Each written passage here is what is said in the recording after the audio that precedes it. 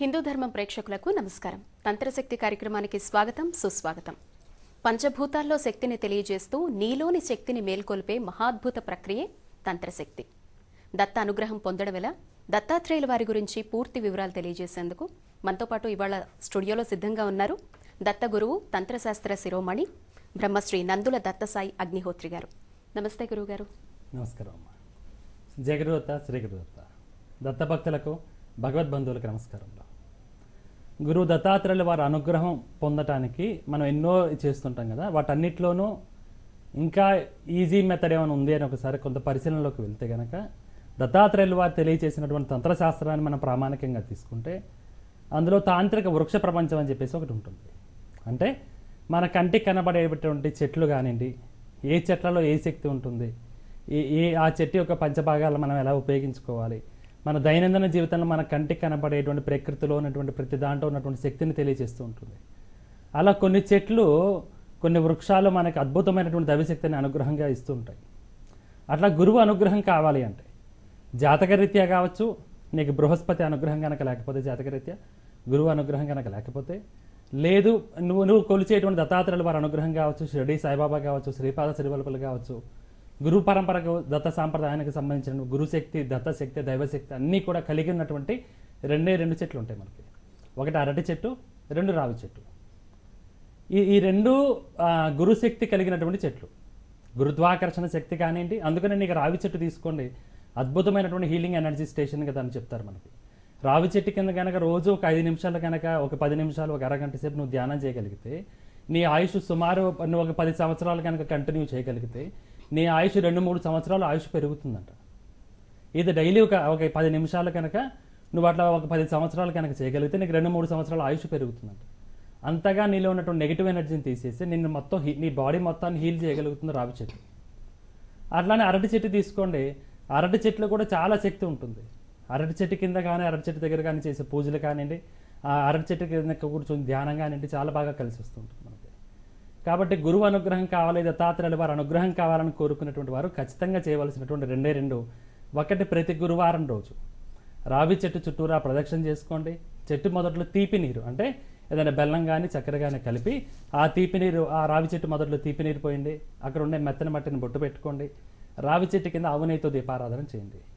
ఇది ప్రతి గురువారం గురువారం చేస్తుండండి తద్వారా గురువు అనుగ్రహం కలుగుతుంది. అలానే ప్రతి గురువారం రోజు కూడా అరటి చెట్టు కింద.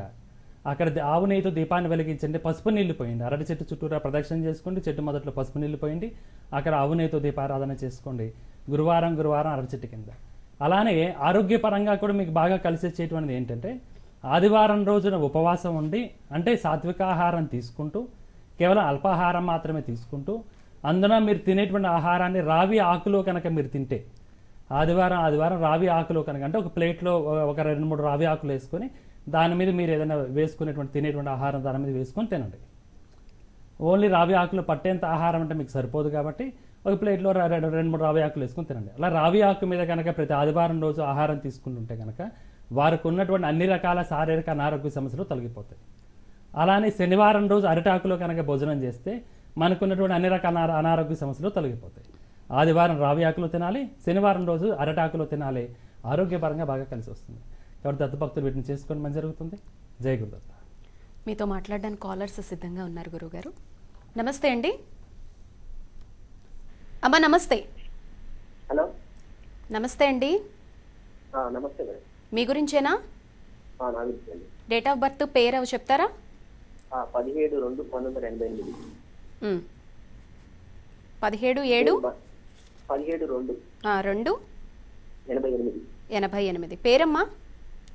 సంతోష్ అండి సంతోష్ గారు గురుగారితో మాట్లాడండి హలో హలో ఈ పాదాభివంతరం అయ్యా దత్తార్పణం జయ గురుదత్త చెప్పండి ఈ దేంట్లో సెటిల్ కాకుండా అయిపోతున్నాను నాకు మ్యారేజ్ కావట్లేదు ఆ. ఇప్పుడు ఏం చేస్తుంటావు ఇప్పుడు ప్రజెంట్ ఖాళీ ఉందండి ఒక నాలుగైదు నెలల నుంచి ఓకే ఇంతకుముందు ఏం చేసేవాడివి ఇంతకుముందు ఫార్మసిస్ట్ చేసేది ఆ. చేయట్లేదు అనమాట కొంచెం హెల్త్ ప్రాబ్లమ్స్ వచ్చి బంద్ చేసిన ఓకే. వివాహ ప్రయత్నాలు చేస్తున్నారా? ఆ వివాహ ప్రయత్నం చేయట్లేదండి. ఇంకోటి ఏంటంటే నేను బిజినెస్ చేయగలుగుతానా? లేకపోతే బిజినెస్ జాబ్ చేయగలుగుతానా? చెప్పడేమని రైట్. ఒకే ఒక క్వశ్చన్. ఉద్యోగపరంగా వెళ్తే బాగుంటుందా? వ్యాపార పరంగా వెళ్తే బాగుంటుందా? అన్న దాని ప్రశ్నగా తీసుకుందాము. గురువు దత్తాత్రేయుల వారికి నమస్కరించుకొని ఒకటి నుంచి పదిలో ఒక నెంబర్ చెప్పు. మరో నెంబర్ చెప్పు. ఐదు. మరొకటి? ఆరు. ఉద్యోగ పరంగానే ప్రయత్నించి వ్యాపార పరంగా నీకు అంతగా అనుకూలత లేదు. బుధుడు శుక్రుడు నీచాధిపతులే ఉన్నారు. అంటే బుధుడు వ్యాపారానికి అధిపతి. ఎవరికైనా సరే బుధుడు అనుగ్రహం ఉంటే వ్యాపార పరంగా కలిసి వస్తారు. అందులోని శుక్రుడు కలిసి వచ్చాడు. శుక్రుడు అనుకూలత ఉంది. బుధుడు కనుక అంటే కనుక ఆర్థికంగా బాగా ఎదిగే అవకాశం ఉంటుంది. కానీ ఇక్కడ శుక్రుడు నీచంలో ఉన్నాడు. అంటే నీకు పది రూపాయలు రాబడి ఉంటుంది వంద రూపాయలు ఖర్చు ఉంటుంది. ఆ పది రూపాయలు వచ్చేది కూడా కష్టంగా ఉంటూ ఉంటుంది. సో దుబారా ఖర్చు పెరుగుతూ ఉంటుంది. సో ఇప్పుడు శుక్రుడు నీచంలో ఉన్నాడు బుధుడితో కలిసి అన్నప్పుడు ఈ సమయంలో కనుక వ్యాపార పరంగా కనుక అడుగు వేస్తే ఉన్న పది రూపాయలు కూడా ఇబ్బంది ఏర్పడుతుంటుంది. కాబట్టి దానికంటే ఉత్తమం ఏంటంటే ఉద్యోగపరంగా ప్రయత్నం చేయడమే పూర్వపు నెలలో కుజుడున్నాడు కొంచెం కష్టపడాల్సి వస్తుంది. నీకు వచ్చే ఉద్యోగం కూడా కష్టపడే ఉద్యోగం వస్తుంది. కానీ ఆ ఉద్యోగం చెయ్యి కష్టపడు. ఖచ్చితంగా తర్వాత కాలంలో మంచి ఎదుగుదల ఉంటుంది నాన్న చేసుకోమని జరుగుతుంది. అనగా దత్త అనుగ్రహ ప్రాప్తిరస్తు జయ గురుదత్త. మరొక కాలర్ గురువు గారు నమస్తే అండి. హలో. హలో మేడం అమ్మా నమస్తే. అమ్మా నమస్తే. టీవీ వాల్యూమ్ పూర్తిగా మ్యూట్లో పెట్టేసి ఎవరి గురించి తెలుసుకోవాలనుకుంటున్నారో చెప్పండి. ఆ, మేడం. అమ్మా. నేను నెల్లూరు నుంచి కాల్ చేస్తున్నా మేడం. మీ గురించేనా? ఆ, పాప గురించి మేడం సంతానం గురించి. పాప పేరు డేట్ ఆఫ్ బర్త్ చెప్పండి అమ్మా పదిహేను ఆరు పంతొమ్మిది వందల తొంభై ఎనిమిది. పేరమ్మ పాపది. పవిత్ర జూను పదిహేను పుట్టింది. గురుగారితో మాట్లాడండి అమ్మా శ్రీ గురుదత్త జయ గురుదత్త. అమ్మా జయ గురుదత్త శ్రీ గురుదత్త అమ్మా మీ బాధాలకి పెట్టుకోటి వందనాలు గురువు గారు ఈ ప్రోగ్రామ్ డైలీ చూస్తుంటాం గురువు గారు దత్తార్పణ తల్లి చెప్పండి తల్లి. పాపకి సంతానం లేదు గురువు గారు ఐదు సంవత్సరాలైంది వివాహం అయ్యి. సంతానం అంటే అంటే గర్భం దాల్చిపోవటం కానీ అలా నిలబడకపోవటాలు అట్లా ఏమైనా జరిగినాయి? ఓకే. డాక్టర్స్ని కలిసారా డాక్టర్ని కన్సల్ట్ అయ్యారా వాళ్ళ దంపతులు?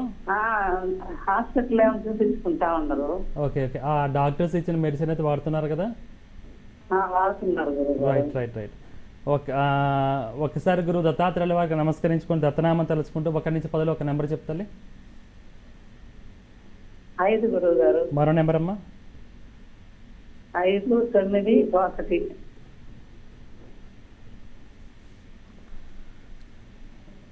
ఈ పవిత్ర అనే అర్థమైంది తల్లి. పవిత్ర అనేటువంటి జాతకస్తురాలకి ప్రశ్నగా సంతాన యోగం ఉన్నదా లేదా సంతాన యోగ బలం గురించి మనం తీసుకున్నాము.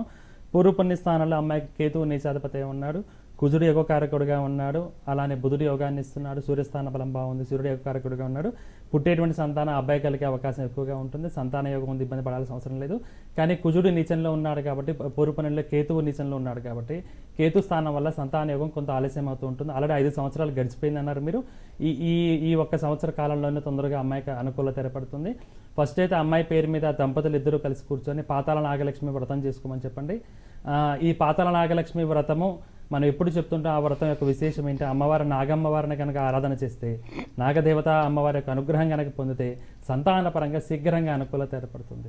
వివాహం కానటువంటి వారు కానివ్వండి వివాహానంతరం భార్యాభర్తలు సఖ్యత లేనటువంటి వారు కానీ సంతాన యోగం లేనటువంటి వారు కానివ్వండి వంశాభివృద్ధి జరగాలని కోరుకునేటువంటి వారు కానివ్వండి ఇంటి పెద్దల శాపాలతో బాధపడేవారు కానీ స్త్రీ శాపాలతో బాధపడేవారు కానివ్వండి నాగ సంబంధ శాపాల దోషాలతో బాధపడేటువంటి వారు కానివ్వండి పద్దెనిమిది రకాల కాలసర్ప దోషాలకు సంబంధించినటువంటి బాధపడేటువంటి వారు కానివ్వండి ఇటువంటి వారు ఎవరైనా సరే ఆర్థికంగా ఎదగాలి లక్ష్మీ అనుగ్రహం కావాలి వీటన్నిటికి మించి నిధి నిక్షేపాలు కావాలి వీటన్నిటికీ ఏంట్రా అంటే ఒకటే ఒక వ్రతము పాతాల నాగలక్ష్మి వ్రతం. ఇది తాంత్రిక విధానంలో చేసేటువంటి వ్రతం చాలా విశేషమైన శక్తి కలిగి ఉంటుంది. కాబట్టి ఈ యొక్క వ్రతాన్ని ఆచరించమని చెప్పండి తప్పకుండా అమ్మాయి చేత. ఈ వ్రతం ఎలా చేయాలి ఏంటి దీని గురించి విశేషాలు ఏంటి అంటే మన సంస్థ నెంబర్లు ఉంటాయి కదా అనగదత్త ప్రచార సంస్థ నెంబర్లు వాటికి కాల్ చేయండి వాళ్ళు మీకు మరిన్ని వివరాలు తెలియజేస్తారు. ఇది కొంత రహస్యంగా ఉండే విషయం కాబట్టి పబ్లిక్లో దీన్ని ఎలా ఆచరించాలో చెప్పకూడదు. బట్ వాళ్ళు మీకు అన్ని విషయాలు తెలియజేస్తారు తల్లి. అమ్మాయి చేత వ్రతాన్ని చేపించ చేపించడం ఖచ్చితంగా. నాగమ్మవారి యొక్క అనుగ్రహంతో ఆ తల్లి శీఘ్రంగా తొందరలోనే తల్లి అవుతుంది తల్లి. చేసుకోమని జరుగుతుంది. అనగాదత్త అనుగ్రహ ప్రాప్తిరస్తు. జయ గురుదత్త. మరొక కాలర్ గురువు గారు నమస్తే అండి. అమ్మా నమస్తే. వేరే హలో. కాల్ డిస్కనెక్ట్ అయింది గురుగారు. గురుగారు కార్తీక మాస దీపారాధనకు సంబంధించి ప్రతిరోజు ఏదో ఒక చక్కని దీపం గురించి మాకు చెప్తూ ఉన్నారు. ఇవాళ ఏ దీపం గురించి తెలియజేయబోతున్నారు? కార్తీక మాసం అంటేనే మనం ఎప్పుడు చెప్తాం? మూడు మూడు గుర్తుంచుకోండి కార్తీక మాసంలో. కార్తీక మాసంలో మొదట దీపం దీపారాధన. నిత్యము దీపాన్ని వెలిగించిన కార్తీక మాసంలో. మీరు ఎక్కడైనా ఇంట్లో వెలిగించుకోండి దేవాలయంలో వెలిగించుకోండి ఏదైనా క్షేత్రాలలో వెలిగించుకోండి నదీ నదీ పరిసర ప్రాంతాలు వెలిగించుకోండి ఇంకా ఎంత ప- పర్వత ప్రాంతాలు వెలిగించుకోండి ఇంకా శక్తి పెరుగుతుంటుంది ఎక్కడ దీపం వెలిగించకపోతే కానీ దీపారాధన నిత్యం చేస్తుండండి? సెకండ్ తీర్థస్థానాలు. ఏదైనా సరే మీకు దగ్గరలో ఉన్నటువంటి దత్త దత్తక్షేత్రాలకి లేకపోతే దైవక్షేత్రాలకి వెళ్ళండి అమ్మవారి గుళ్ళకి వెళ్ళండి ఏ ఏ దేవాలయ ప్రాంగణంలో ఉన్నటువంటి నదిలో అయితే స్నానం చేయండి. ఖచ్చితంగా తీర్థ స్నానాలు వంద వందకి వంద శాతం కార్తీక మాసంలో చేయండి. వనభోజనాలు సముద్ర స్నానాలు కూడా అందుకోసమే మనం చేస్తుంటాం గుర్తుంచుకోండి. ఇది రెండు. మూడోది దానము. దానము అంటే నీ దగ్గర లే ఉన్నదాన్ని ఇంకోళ్ళకి ఇవ్వటము అనేటువంటి దాన్ని ఒక ఒక పరిగణలోకి తీసుకుని దానము అంటే రెండవది మీకు ఉండేటువంటి యోగాలు పొందడానికి కూడా కొన్ని కొన్ని దానాలు చేసుకుంటూ ఉంటారు. కాబట్టి మీ జాతక రీత్యా నక్షత్ర ప్రకార రాశి రీత్యా కావచ్చు మీకు తెలిసినటువంటి రీత్యా ఎవరైనా పెద్దలు చెప్తే కనుక వాటికి సంబంధించిన దానాలు అయితే కార్తీక మాసంలో ఆచరించండి బాగా కలిసి వస్తుంటుంది. అన్నిటికి మించి ఒకటే ఒకటి గుర్తుంచుకో కార్తీక మాసంలో దాన ఫలితం ఏ విధంగా ఉంటుందంటే అన్నిటికంటే ఉత్తమమైన దానం ఏంటంటే అన్నదానము. ఆకలితో ఉన్నటువంటి జీవికి మాత్రం అన్నం పెట్టండి. మీకు దగ్గరలో ఉన్నటువంటి అనాథాశ్రమాలు వృద్ధాశ్రమాలు కొన్ని మన సోదర సోదరి తల్లిదండ్రులు ఉండేటువంటి ప్రదేశాలు చాలా ఉన్నాయి ఒంటరిగా. వాటికి వెళ్ళండి. దేనికంటే నీ దగ్గర డబ్బులు ఉన్నాయి నువ్వు ఏం కావాలో కొనుక్కొని తింటావు. లేదు మాట ఉన్నోడు అడిగి కొనుక్కొని తినగలుగుతాడు. బట్ అన్నీ ఉండి నిస్సహాయంగా లేని వాళ్ళు ఉంటారు చూసావా? వాళ్ళకి సర్ప్రైజ్ చేయండి. అంటే మీరు నువ్వు ఇంట్లో ఏమైతే తింటావో ఒక రోజు పండగ రోజు వండుకొని అవన్నీ వండి తీసుకెళ్ళి ఐదు ముప్పై మందికో పది మందికి ఇరవై మందికో కడుపు నింపండి. నువ్వు పది లక్షలు ఇచ్చినా పది కోట్లు ఇచ్చినా ఇంకా ఆశ ఉంటుందో ఉండదు తెలియదు కానీ కడుపు నిండా అయితే తిండి పెడితే మాత్రం వాళ్ళు ఖచ్చితంగా దిల్దారుగా ఆశీర్వదిస్తారు. ఆ బ్లెస్ అనేది మనకు బాగా ఉపయోగపడుతుంది. కార్తీక మాసంలో ఈ మూడు చేస్తుండండి. ఇందులో దీపారాధన విశేషం మనకి అందులో సింపుల్ ఏంటో? కార్తీక మాసం మొత్తం నువ్వు చేయగలిగితే కనుక ఆవు పేడని తీసుకొచ్చుకుంటే ఆవు పేడతో ప్రమిదలు చేయండి. ఈరోజు రేపు గో గో ఆధారిత ప్రోడక్ట్స్ చాలా మనకి బయట దొరుకుతున్నాయి కూడా మనకి. అందులో నీకు ఆవు పేడతో చేసినటువంటి ప్రమిదలు అమ్ముతున్నారు మీకు స్పెషల్గా అమ్ముతున్నారు. మీరు ఆన్లైన్ కానివ్వండి మీకు దగ్గరలో ఉన్న గోశాలలు ఇంకోటి ఇంకోటి చాలా ఉన్నాయి వాటిని సంప్రదించండి మీకు దొరుకుతుంది. బట్ గో పేడతో చేసినటువంటి ప్రమిదని అయితే తెచ్చుకోండి. ఆ రోజు ఆ ప్రమిదతో దీపారాధన చేయండి. మీరు ఎంత శక్తి వస్తుందంటే ఆలోచన చేయండి. నిత్యము ఇంట్లో ఒకటి అలానే శివాలయ ప్రాంగణంలో ఒకటి. రోజు నిత్యము ఇంట్లో శివాలయంలో ఇంట్లో శివాలయంలో రోజు ఆవు పేడతో చేసిన ప్రమిదం తీసుకొచ్చి ఆ ప్రమిదలో ఆవు నెయ్యి వేసి చక్కని తెల్లని బొత్తి ఒకటి వేసి దీపారాధన చేయండి. ఓం నమ శివాయ ఓం నమ శివాయ అని కోరుకోండి. సంకల్పం చెప్పుకోండి మీ కోరిక సంకల్పం చెప్పుకోండి. కార్తీక మాసం అయిపోయే లోపల మీ కోరిక నెరవేరకపోతే అప్పుడు అడగండి అంత శక్తివంతమైనటువంటి దీపారాధన ఇది చేసుకోండి మంచి జరుగుతుంది. జయ గురుదత్త. మరొక కాలర్ గురుగారు నమస్తే అండి. అండి. అమ్మ నమస్తే. మీ గురించేనా? మా బాబు గురించి అండి బాబు వివరాలు చెప్పండి అమ్మా పేరు డేట్ ఆఫ్ బర్త్? పంతొమ్మిది వందల తొంభై తొమ్మిదో సంవత్సరం అండి. జూలై నెల ఇరవై మూడో తారీఖు అండి పేరమ్మా బాబు పేరు? ఏంటండి? బాబు పేరమ్మా? దుర్గారెడ్డి అండి. గురుగారితో మాట్లాడండి. హలో. నమస్కారం అండి గురువు గారు ఎప్పటి నుంచో మాట్లాడాలనుకుంటున్నాను. ఇప్పుడు కలిసిందండి సంతోషం. తల్లి. జయ గురుదత్త శ్రీ నాకు చాలా సంతోషంగా ఉందండి బాబు. అమ్మ సంతోషం. చెప్పండి తల్లి. ఎక్కడి నుంచి మాట్లాడుతారు తూర్పుగోదావరి జిల్లా అండి. తూర్పుగోదావరి జిల్లా ఎక్కడ? ద్వారపూడి అండి. ద్వారపూడి. సంతోషం. చెప్పండి. అదే మా బాబు గురించి తెలుసుకుందామనండి. అమ్మ ఏం చేస్తుంటారు దేని ప్రశ్న ఏంటి? ఇప్పుడు ప్రస్తుతానికి లైన్కి వెళ్తున్నాడండి. అదే సొంతంగా లైన్ ఎక్కించమా మానవా అనేసానండి. అంటే వేరే వాళ్ళతో వెళ్తున్నాడండి. ఇప్పుడు వేరేగా వ్యాపారం పెట్టించచ్చా లేదా ఎప్పుడు పెట్టించాం కళ్యాణం వచ్చిందా లేదా అని అడుగుదామని చేశాను సంతోషం. తల్లి ఒకసారి గురువు దత్తాత్రేయుల వారికి నమస్కరించుకొని ఒకటి నుంచి పదిలో ఒక నెంబర్ చెప్తల్లి ఆరండి. మరో నెంబర్ చెప్పమ్మా. తొమ్మిదండి. మరొకటి తల్లి. నాలుగండి ఆ, రెండు క్వశ్చన్లు అడిగావు. ఒకటేమో వ్యాపార పరంగా పర్సనల్గా అతన్ని వ్యక్తిగతంగా వ్యాపార పరంగా పంపిద్దామని చెప్పేసి అడుగున్నావు. రెండోది వివాహ యోగం ఉందా లేదా? యోగం ఉంటే ఆ, ప్రయత్నాలు చేద్దామని చెప్పేసి. మీ అబ్బాయిది ఎలా ఉంది అంటే కళ్యాణ్ పెళ్ళైన తర్వాత బాగా కలిసి వస్తుంది మంచి యోగం ఉంది. వివాహ ప్రయత్నాలు మొదలు పెట్టండి ఖచ్చితంగా మంచి యోగం ఉంది. అబ్బాయికి శుక్రుడు అనుగ్రహం పుష్కలంగా ఉంది. శుక్రుడితో పాటు కుజుడు కలిసి ఉన్నాడు. అంటే కొంత భూమికి సంబంధించి కానీ ఇంకోటి కానీ ఏదైనా సరే ఆస్తి రూపంలో కానివ్వండి లేకపోతే ఏదైనా సరే లక్ష్మీ అనుగ్రహం కలిగే అవకాశం పుష్కలంగా ఉంటుంది. సో శుక్రస్థాన బలం బాగుంది ఇబ్బంది లేదు. మీరు అక్కడే ద్వారపూడి గారు నీకు దగ్గరలో పిఠాపురం దగ్గరే అవుతుంది మీకు పక్కనే అవుతుంది. అబ్బాయిని తీసుకుని ఒక ఆరు పున్నములు పిఠాపురం తీసుకెళ్ళండి అబ్బాయిని. ఆరు పున్నములు పిఠాపురం వెళ్ళి శ్రీపాద శ్రీవల్ప మహాసంస్థానం దగ్గర ఉండి స్వయంభుదత్త కుకుటేశ్వర ఆలయంలో స్వయంభుదత్తను దర్శించుకొని అక్కడ ఆరు పూర్ణములు నిద్ర చేయండి. అబ్బాయి చేత ఆరు పూర్ణ పౌర్ణములు నిద్ర చేయించు ఆరు పౌర్ణములు నిద్ర అయిన తర్వాత అప్పుడు నువ్వు వ్యాపార పరంగా కావచ్చు వివాహ పరంగా కావచ్చు మొదలు పెట్టుకో అలానే గురుమని మాల ఉంటుంది. మన వాళ్ళకి ఫోన్ చేయి వాళ్ళు చెప్తారు నీకు సంస్థలకు చేస్తే. ఆ గురుమని మాలను అబ్బాయి మెల్ల వేసుకోమని చెప్పు. రోజు ఉదయాన్నే స్నానం చేసి గురుమని మాల వేసుకోమను. రాత్రి పడుకొని ఇప్పుడు తీసి దేవుడి దగ్గర పెట్టి పడుకోమను. ఇలా కరెక్ట్గా ఆరు పున్నములు చేయండి. ఆరు పున్నముల తర్వాత వివాహ పరంగా వ్యాపార పరంగా రెండింటికి పరంగా కలిసి వస్తుంది తల్లి. చేసుకోమని జరుగుతుంది. అనగా దత్త అనుగ్రహ ప్రాప్తిరస్తూ జయ గురుదేవ్. మరొక కాలర్ గురుగారు. నమస్తే అండి. హలో. హలో నమస్కారం అండి. అమ్మా నమస్తే. మీ గురించేనా? ఆ, అవునండి. వివరాలు చెప్పండి అమ్మా. నా పేరు యశోద. యశోగ యశోద గారు డేట్ ఆఫ్ బర్త్? పదమూడు ఐదు పంతొమ్మిది వందల తొంభై ఎనిమిది. అమ్మా గురుగారితో మాట్లాడండి. స్వామి మీ పాదాలకు నమస్కారం. మా దత్తార్పణ తల్లి చెప్పండి తల్లి. జయ గురుదత్త శ్రీ గురుదత్త. స్వామి వివాహం గురించి సంబంధాలు వచ్చినట్టే వచ్చి చేజారిపోతున్నాయి స్వామి. హ్మ్. ఎంతకాలం నుంచి ప్రయత్నం చేస్తున్నారు సోదరి? టూ ఇయర్స్ నుంచి స్వామి. రెండు సంవత్సరాల నుంచి కుదిరినట్టే కుదిరినట్టే వస్తాయి స్వామి చూస్తారు ఇంకా. రైట్ ఒకసారి గురువు దత్తాత్రేయుల వారికి నమస్కరించుకుని ఒక నుంచి పదిలో ఒక నెంబర్ చెప్తాలి. తొమ్మిది మరో నెంబర్. ఐదు మరొకటి. ఏడు. నాన్న భాగ్యస్థానం బాగానే ఉంది. నీకు భాగ్యస్థానం లేని దోషం లేదు. లగ్నాధిపతి రాహు నీచాధిపతి ఉన్నాడు నీకు. కుచుడు కూడా బాగాలేదు రాహు కుజుడు నీచంలో ఉన్నారు నీకు. అందుకని కొంచెం ఇబ్బంది ఏర్పడుతుంది అంత మించి ఏం లేదు. భాగ్యస్థానం బాగుందంటే వివాహపరంగా యోగం ఉంది. మ్యారేజ్ తర్వాత అయితే బాగా కలిసి వస్తుంది. టెన్షన్ పడద్దు ఏం కాదు. ఒకే ఒక పని చేయి. శ్వేతార్క హనుమంతుల వారు ఉంటారు. తెల్ల జిల్లేరు చెట్టు వేరుతో చేసిన హనుమంతుల వారు. తాంత్రిక వస్తువు చాలా విశేషమైనటువంటిది. ఆ శ్వేతార్క హనుమంతుల వారిని తెప్పించుకో మన సంస్థకు ఫోన్ చేయాలని నీకు చెప్తారు. తెప్పించుకొని అరటాకు తీసుకొచ్చుకో చిన్న అరటాకు ఒకటి. అరటాకుని నీకు దేవుడి దగ్గర ఎంత అయితే పడుతుందో అంత ప్లేస్లో కట్ చేసుకో అరటాకుని. దాన్ని శుభ్రంగా తుడుచుకో. అరటాకు మీద సింధూరంతో నీ పేరు రాసుకో సంకల్పం రాసుకో. నీ పేరు సింధూరంతో కొంచెం నువ్వుల నుంచి చుక్కు వేసి నీ పేరు రాసి దాని కింద వివాహం కోసం అని సంకల్పం రాసుకో. అరటాకును దేవుడి దగ్గర పెట్టు. అరటాకు మీద ఈ శ్వేతార్క హనుమంతుల వారిని పెట్టు. స్వామివారి పాదాల దగ్గర తమలపాకు పెట్టి అందులో సింధూరం వేసించు. నీకు స్వర్ణ సింధూరం దొరుకుతుంటుంది నీకు. ఆ స్వర్ణ సింధూరం తెచ్చుకో చాలా మంచిది. మామూలు సింధూరం కంటే కూడా స్వర్ణ సింధూరం వేసుకొని దాన్ని స్వామివారి దగ్గర పెట్టు. తొమ్మిది రోజులు సుందరాకాండ పారాయించు. రోజు కూడా స్వామివారికి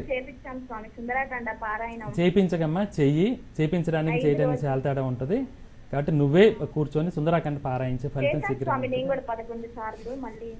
నాన్న శ్వేతార్క హనుమంతుల వారిని పెట్టుకొని ఇప్పుడు నేను చెప్పిన విధంగా చేసావు కదా అదంతా సంతోషం. ఇంకా ఇంకొక రెండు రోజుల ముందే పెళ్ళి అయితే టెన్షన్ పడకు. ఇప్పుడు చేసేవానికి ఆ రెండు రోజులు కాకుండా రేపే పెళ్ళి అయ్యే విధంగా తొందరగా చెప్తున్నాను నీకు. కాబట్టి ఫస్ట్ అయితే సుందరకాండ పారాయణ మొదలుపెట్టు. నీకు వాక్ అనేది వచ్చింది అన్నప్పుడు జస్ట్ యాక్సెప్ట్ దట్ వన్ అంతే నేను ఆల్రెడీ చేసేసానండి అన్నప్పుడు కూడా ఆల్రెడీ రాసుంటుంది అమ్మ పెళ్ళి ఎద్దులే అంట నేను కూడా. కాదు కాబట్టి తొందరగా కావాలని అడిగావు కాబట్టి సుందరకాండ పారాయణ మొదలు పెట్టాను శ్వేతార్క హనుమంతుల వారిని పెట్టుకో చక్కగా. ప్రతి శనివారం అంటే శనివారం ఉపవాసం ఉండు. హనుమంతుల వారి గుడికి వెళ్ళు. శనగపిండితో చేసిన లడ్డు హనుమ హనుమంత వారికి సమ సమర్పిస్తుండు. తొమ్మిది శనివారాలు చేయి తొమ్మిది శనివారాల కల్లా ఖచ్చితంగా శుభవార్త ఇంటో సోదరి చేసుకోమని జరుగుతుంది. అనగా దత్తాను గ్రహ ప్రాప్తిరస్తూ. జయ గురుదయ. ధన్యవాదాలు గురువుగారు. దత్త అనుగ్రహాన్ని పొందడం ఎలాగా చెప్పడంతో పాటు కార్తీక మాసంలో పెట్టేటువంటి ఒక ప్రత్యేక దీపం గురించి కూడా ఇవాళ మా ప్రేక్షకులందరికీ చెప్పి వాళ్ళ సందేహాలు కూడా నివృత్తి చేశారు. ధన్యవాదాలండి. జయ గురుదత్త శ్రీ గురుదత్త. ఇది వంటి తంత్రశక్తి కార్యక్రమం. చూస్తూనే ఉండండి. హిందూ ధర్మం. పాండురంగం